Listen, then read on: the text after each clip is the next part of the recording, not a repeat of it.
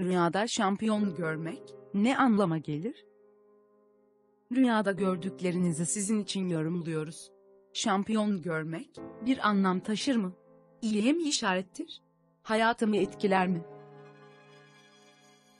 Rüyada şampiyon görmek.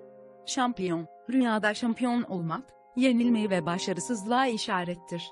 Devamını, Rüya Tabirleri kitabı.com'da okumak için aşağıdaki bağlantıya linki tıklayın.